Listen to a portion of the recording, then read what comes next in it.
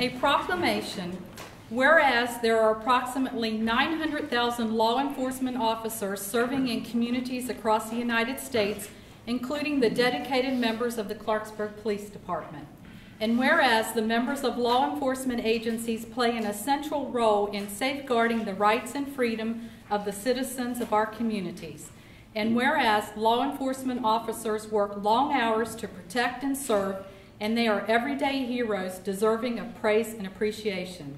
And whereas, sadly, nearly 60,000 assaults against law enforcement officers are reported each year, resulting in approximately 16,000 injuries. And whereas, since the first recorded death in 1791, almost 20,000 law enforcement officers in the United States have made the ultimate sacrifice and have been killed in the line of duty.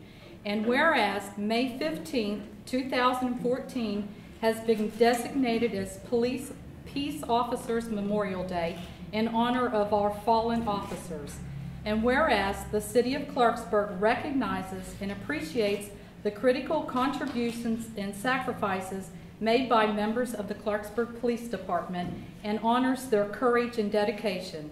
Now therefore I, Catherine A. Goings, Mayor of the City of Clarksburg, do hereby proclaim the week of May 11th through the 17th, 2014 as Police Week in the City of Clarksburg and salute the services of our outstanding law enforcement officers. In witness whereof, I have hereunto set my hand and have caused the official seal of the City of Clarksburg to be affixed hereto this 15th day of May 2014, attested by Annette Wright, City Clerk. Congratulations. Thank you for everything you do for us and our community. I want to thank you for all your support and all council and also city manager and the citizens also. Congratulations. Thank you.